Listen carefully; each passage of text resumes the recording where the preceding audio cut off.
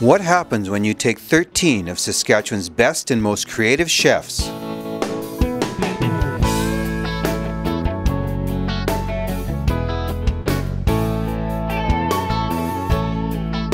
Along with a room full of local celebrities from the worlds of arts, politics, and entertainment.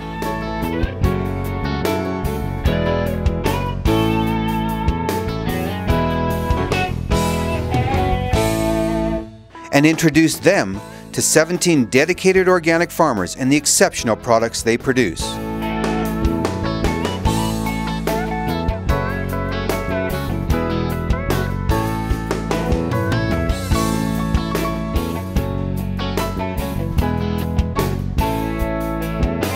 Where you might just get yourself an invitation to dining with the stars.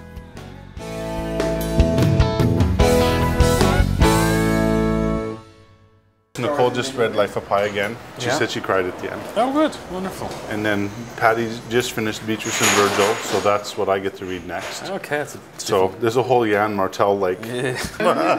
So we are here for Dine with the Star, and here is the star right here, Dan Walker of Weczeria. Not you can ever pronounce the name or spell it. It's always hell in the phone book trying to find out where that restaurant is. So we are doing a dinner for 12 people, I think, yep, and so we have to determine what we want to eat, yep. How many courses. We'll do like two to three apps, a main course with some choice, uh, choice, and then dessert, which is your favorite favorite Yeah. uh, part of it. so I like the rest too. the idea is that we have to do organic or local, but I, we, we're more of a locally locally focused uh, food restaurant. So the organic part is something that we, you know, have on occasion. We don't necessarily always use organic. But you are committed to local, though. yeah, ninety percent of our, uh, uh, yeah, say seventy-five to ninety percent of our menu is local. I mean, obvious things like pepper and. Yeah. And I actually like the joke that my pepper's from Saskatchewan, but the lady that we get it from has a plantation in Costa Rica. So, you know, No, that's good. So we have five courses. Yeah. Um, I'm vegetarian. Actually, no, I'm pescatarian. Yes. So I do eat fish. Mm-hmm. So do you propose to do a pescatarian menu, a Yeah, vegetarian? I think you know, in honor of your your views on vegetarianism and Note how he pescatarian- laughs. Yes, we'll do that. We change our menu every week. We, we buy the freshest product possible and we, we put it out there. So we have the ability in the kitchen and as, as trained professionals to to deal with all sorts of you know allergies or, or diseases, I guess, and, and vegetarianism, pescatarian, and, all that kind of stuff, like on a fly. So we have a really fantastic supplier, Jonathan Phonos, in uh, Dore Lake, that will have uh, pickerel, uh, jackfish, uh, whitefish. We'll do that, and we actually we got some hemp seed, some organic hemp seed. And so one of the things we're thinking about was, you know, crusting one of the fish with a hemp seed would be kind of Oh, wow, I don't think would be kind of good. seed. Yeah, it'd be really. Yeah, I haven't either, so that's something new for me. Um, one of the other growers that we have is If it uh, burns in the oven, you might be very happy about that. Yeah. oh well, um, is uh, a gentleman out of Estevan, Raymond Aspinall, I think his name. I'm pretty sure I'm saying that right. He has a mill, an organic mill, so we, we're going to start getting flour from him, like regular wheat, whole wheat flour, regular flour, rye flour, oat flour, buckwheat flour, and then he also has like all the grains too, uh, spelt, um, buckwheat. So the, the, he actually had probably the one thing that was most interesting to us in terms of stuff that we can use, that we can use in several different dishes. So we're, we're quite excited to, to work with this gentleman and his product. So I'm, I'm really pumped about it. How do you get to know all these producers? Is there a, is there a sort of a network of them? Or? Sometimes Word of it's just, mouth? It take, yeah, word of mouth, the farmer's market, Western producer, driving out in the middle of nowhere. And then just, just finding people or people like yourself or that, that are concerned about how they eat and having themselves found somebody and coming to me and going, hey, I've got this really great uh, guy that does this. And so we, we kind of sometimes have to be selective, but at the, also at the same time, we can because we do change the menu as much as we do we're, we're able to say we have this for this this long and that's it But so you, by the way, you get all your stuff directly from these yeah producers. it's all farm gate so we're, we're there at the farmers market or or in the case of getting all my wild boar for for gold medal plates was i drove all the way out to drake picked Okay. up all my animals and then brought it back so uh, straight from the from the abattoir So how many producers in all do you think supply you? From from your herbs to your wild boar to probably your fish? 50 or 60 farms. Wow, that's a lot to keep And that's in, yeah, my, my bookkeeper hates me sometimes. If you are supplying local food and it's therefore also seasonal, right? Mm-hmm. Roughly seasonal, is there one season that you prefer over another? Like a spring or No, well, yeah, spring spring here is a little is Or is fall, almost rather, when things are fall. grown. Yeah, no, Fall's fall is richest- always is one of my favorites because Okay. then the, I tend to think fall stuff anyways all throughout the year. Summer's really great, a great bounty because that like late July, August, September is probably the three best months because you've got just a you have so many things again? to choose from. which one? July, August, and September. Okay. I like that idea of leaving in season too, because it's also more natural. It's the way Yeah. we lived like that for thousands and thousands of years. So Oh, for sure, and it's it's it's it's an education for us too because then we have to find what is in season, and then we have to know how long the season is, and then we have to figure out. Uh, can we can we can this? Can we freeze it? Can we preserve it somehow? Surprisingly, there's there's you'd be surprised at what you find in Saskatchewan. Like it just amazes me. I think actually this dish this menu is going to be quite challenging for us. I think with the stuff, I think with what we get, we're going to just figure some really cool stuff out. So I'm excited. I, and we're also the wine that we're going to have for this event is locally produced fruit wine from a brand new winery called Living Sky Winery, which I've yet to Wow. try. and what about dessert? Yann's favorite topic. We're actually quite in luck because right now I have a young lady, uh, Stacy Coates from Washington State, who's in Saskatoon working for Tracy Muzzolini of Christie's Bakery. Um, So they're Stacy is a pastry chef, and she's working for us right now, and she's going to wow you. All Yeah, right, we're going to challenge you to to do something. She, Stacy, actually was with us for a short period of time, and she worked at uh, with uh, Jean Georges in New York City. So she, so the desserts that she does are just fabulous. And you've been open for five years, Yep. and you're moving next March. March, actually, the date, yeah, March St. Patrick's Day is my reopening in our new spot. It's going to be on Broadway, It's fantastic. doubling the size of the restaurant because I have so many people that come, he- that call that can't get in that Yeah. are mad at me, and I don't want to. Now, are you only going to do evenings, or are you also going to start doing No, lunches? we're, this is where we get really exciting because I've borrowed a lot of money from the bank. I have to pay it back. So we're going to be open for lunch Monday to Friday, and then we're going to do Saturday, Sunday brunch, Oh, and then dinner po- Mo- Saturday. Monday to Saturday, I guess. In a while, we won't even hear the rustling sound. The kids behind us are making while they're fooling around. Cause if the story's alright, there's nothing else. No, oh, oh, and for a couple of hours, you get out of yourself.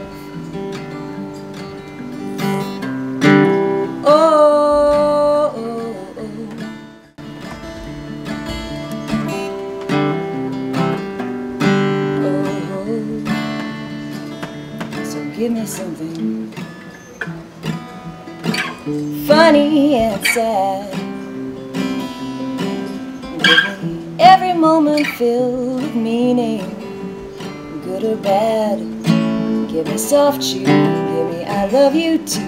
Give me a kiss and cue the band. Dear God, we uh, thank you for this uh, tremendous opportunity to uh, enjoy the, the bountiful blessings of this land and uh, the political stability that we enjoy, and uh, all the wonderful people that have uh, come here together today. And ask that um, that you would bless each one of them, and that you would bless the conversation uh, around this table. And uh, uh, thank you for your goodness. Amen. This is a project that was uh, started by SOD through funding from the Department of the Environment's Go Green Fund, uh, where they um, funded SOD to be able to create awareness of local and organic food. We have uh, 17 producers around the province who have have and are donating food to 13 restaurants. They're uh, across the province. We have some in Saskatoon, some in Regina, one in PA, one in, last night we were in Birch Hills at the New Ground Cafe. I'm Yann Martel. I'm a writer. I feel desperately unaccomplished. I just eat. but I am looking forward to the to eating this meal and and uh, talking more about where food comes from and how we can improve our, our food supply. I'm Alice Kuipers. I'm writer in residence at the Saskatoon Public Library, and my resolution this year is to learn more about cooking and food, so I'm very glad to be here. My name is Amy Jo Ehman. I'm a writer as well, and I write a lot about Saskatchewan foods, and I love to eat a lot of Saskatchewan foods, so I can write about them. So I'm really thrilled to be here. Hi, my name is Martin Meinert. Uh, I'm an organic farmer. I'm a CA and I work at public practice during the winter and farm during the summer. And I'm also the president of SOD, which is our organic group. Hi, I'm Betty Meinert, and I'm uh, Martin's spouse and together we have been organic farming since 1999. Yes. I am Sue Echlin. We own and operate Living Sky Winery just west of Saskatoon. We're a small artisan winery that uses Saskatchewan fruits. It's Lester. I'm the uh, ugly half of Living Sky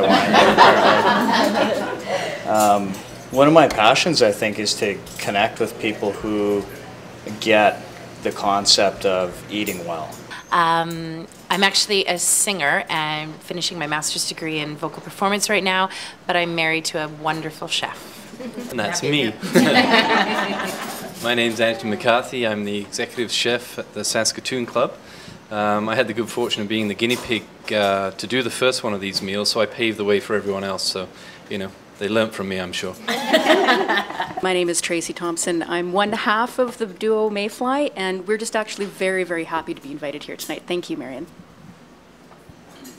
I'm Lisa Unra. It's an honor to sing for our supper tonight and looking so forward to enjoying the local food and company with you here. This is uh, Steve Guenther, uh, partner with my wife, uh, Living Soil Farms. Uh, we grow organic vegetables and organic grains, and uh, we're also very happy to be here. My family and I, we uh, own Living Soil Farms. this is my son Jadrian, and my other son Micah, and wife Jan, and Natalia. And my name is Steve and we uh, produce uh, organic grains and vegetables. We are uh, certified organic. Our vegetables and grains are certified organic. Uh, that means that we've had a, it's a third-party inspection process that inspects our uh, farming practices and our documentation of that. Uh, the public is ensured that, that it's not just us saying that it, we're certified organic, but that we are, that somebody else has said it, an unbiased third party. Some of the regulations uh, around uh, organic, uh, certified organic agriculture include uh, documentation of, uh, of everything that we've uh, applied. And, and what we use normally or what are allowed substances are naturally derived soil amendments and cropping practices which include crop rotations and green manure plowdown for fertilization. And the basic principle behind it is trying to enhance the biology of the of the plants and the soil instead of just using chemicals to uh, manipulate nature, we're trying to work with nature.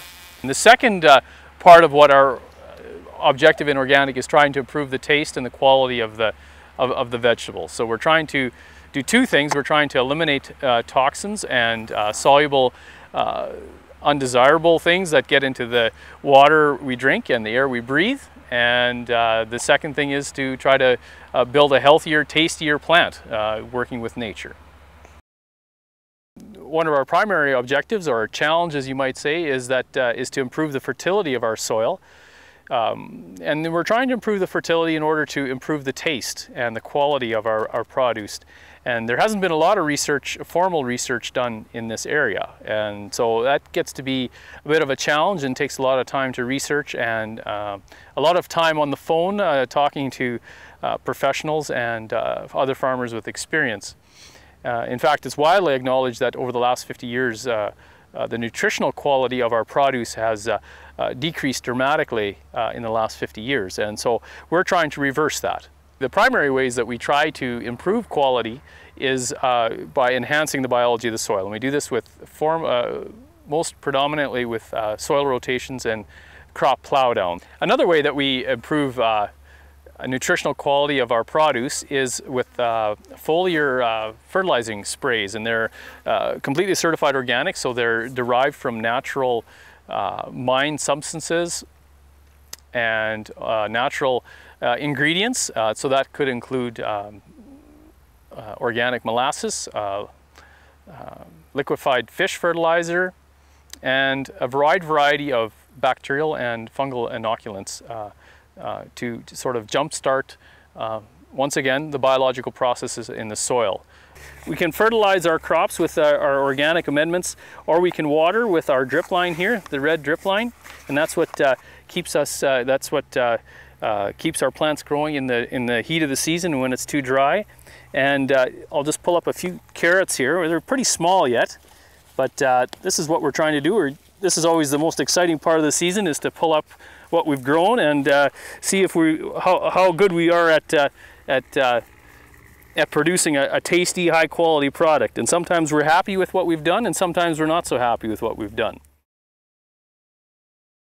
Just to talk a little bit about the name Living Soil Farms, that uh, uh, it says really well what we're, what we're trying to do. We're trying to create living soil farms and one of the, one of the unintended side effects of, of, of the name has been some, uh, some thoughts from fellow farmers who, who, who uh, tell me, uh, well, what do you mean? Is our soil not living then?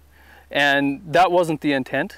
Uh, it's just a, a, a, name that tries to say what we are trying to do, not necessarily what others aren't doing. And we, we haven't arrived yet. We're, we're not happy with, with uh, we've seen some progress, but we've only been at this for five years. And uh, we hope to continue to always strive to improve uh, soil quality and uh, food quality, as well as be better stewards of the land.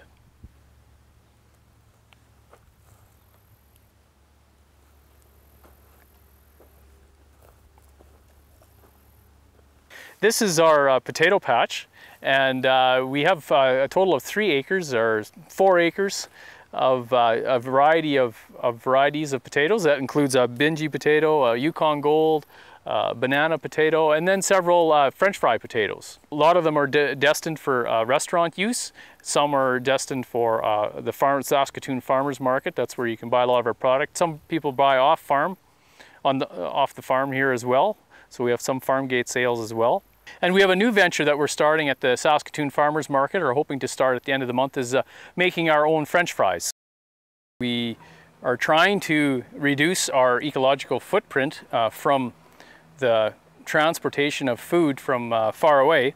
And uh, I think if, if, if we do the math on it right now, we probably, the locally produced and bought products uh, probably haven't made an impact yet, but I think as as more and more people demand local, uh, local products, uh, the, the, the, systems will become more efficient as well as uh, uh, our transportation and distribution systems are, are, will need some time to adjust. They've evolved over the last 75 or 100 years uh, to become a global system and so that's how our system is, is, is designed and so it's going to take uh, a decade or two to achieve those kinds of efficiencies uh, transporting and uh, distributing uh, local products. Success is uh, an interesting concept. Uh, success is when one has done one's best and you see results. you see improvement from year to year and that can include um, environmental improvements, yard improvements, uh, crop improvements, facilities improvements, uh, and it's also uh, produce importance, uh, produce uh, quality, and that's probably the most important thing that we that we strive for. And everything we do uh, revolves around trying to improve our our product. At Yann's request, and most of you know this, but in case you didn't, at Yann's request, and when he consulted with Dan, setting up the menu for the night, we came up with a vegetarian pescatarian and I learned a new word at that point, um, meaning we're having fish and vegetables tonight. Thank you, uh, Yann, for agreeing to be our celebrity for the evening. And uh, we, we've added on some entertainment and we've got celebrity other chefs and we have also celebrities who are producers because the work that they produce needs to be ce uh, celebrated. Folks generally haven't been exposed to fruit wines and in Saskatchewan yet, and so there are a million grape wines you can get at the at the liquor store and and at uh, places like Cava where where uh, folks typically buy wine. What we're mostly interested in is is making fruit wine from from fruit that is uh, connected to us. So we grow our own fruit, and and we're trying to be the world's greatest fruit wine producer. We want to be the best fruit winery in the world. So like I said before, we started with the golden beets from Steve and some of his potatoes. So we just have some onion and a little bit of garlic. Sauteed that, uh, added the potatoes and the beets to it. Kind of got a little bit of color in it and then just threw old, in some old good old fashioned water. Just uh, clink your glasses and have a good night and we'll uh,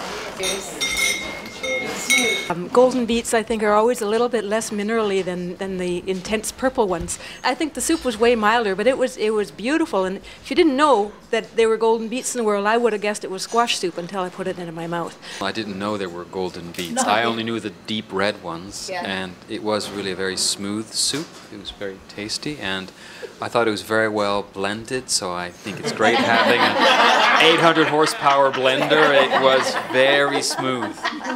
I didn't know there could be a beet soup apart from borscht, so it was nice to see that. I'm very uneloquent when it comes to food. I just love it, so it's good. Yeah, but tell us about the beets. Well, the beets are good. I, I, vote- I just, I was, actually, I was introduced to golden beets by my buddy Wally, uh, uh, Wally's Urban Garden, and he's been a tremendous help to me at the farmer's market. And uh, so he says, oh yeah, just grow those golden beets because they're a seller. You'll have no trouble getting rid of those. So I, um, I used to look at food as nutrients, and, and so I would take nutrients into my body, and that's the only reason I ate, I think. And so eating that soup, I could I could sort of feel those nutrients going in. It was I loved that earthiness in it, and it it felt very healthy and and uh, delicious. Um, and I have a long-standing fear of beet soup after a horrible experience in Russia, and I think I'm getting over it. That was lovely. I don't over abuse the dishes and that, so it is just food. Y beben y vuelven a beber los peces en el agua por ver a Dios nacer. La Virgen va caminando y va caminando solita y no lleva pa compañía.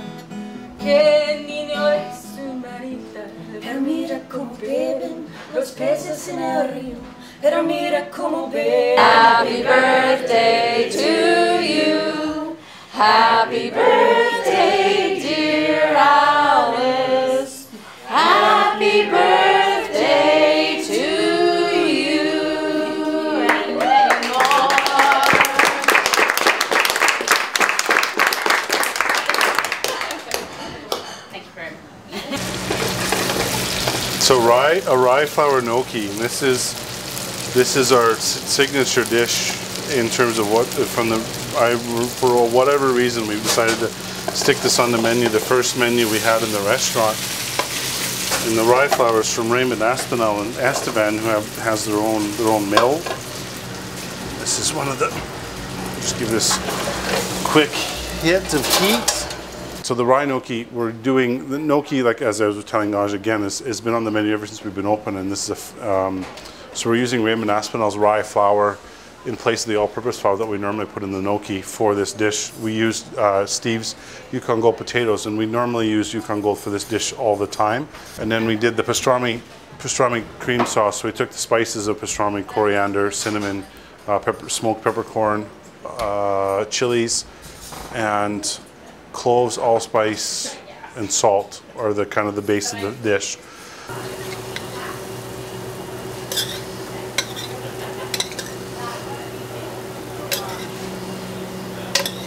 On the one hand, I think we have to maybe lower expectations. You know, we live in an economy where we expect to have everything available any time of year.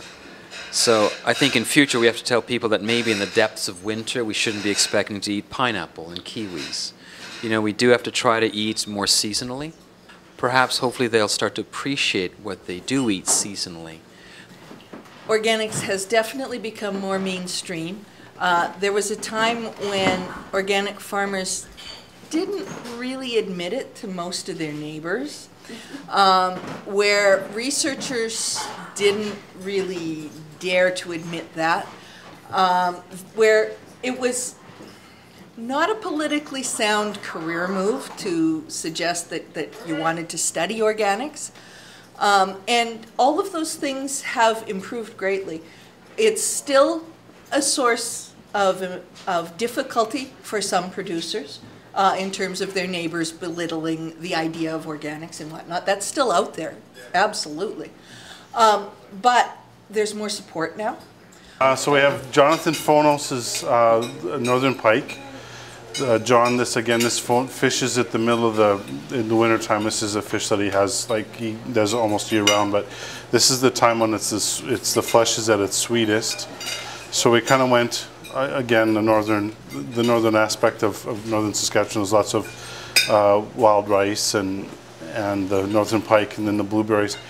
Um, then we have the pike, just sauteed on one side with a little bit of butter and some oil um, some salt, and actually, whenever we do our fish, we actually do, we use uh, Carol Thomas's um, white peppercorns that have been infused with lemon. So we've been using that to season the fish with, which I really like. It, it really gives it a nice kind of pop to it. And then a little bit of arugula with a little bit of the walnut uh, dressing from the salad on top there, just to kind of finish it off. I always like to have kind of a acid in, in the dishes that I think kind of just give it that just that little punch and that to it. It's, most of you are done already, Alice. I can. You're just all ready to go, but you're pregnant, so that doesn't count.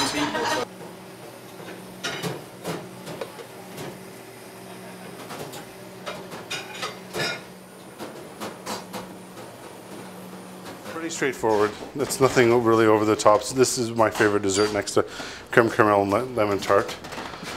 Um, so with the spoon there, we have a little a little compote of uh, sour cherries.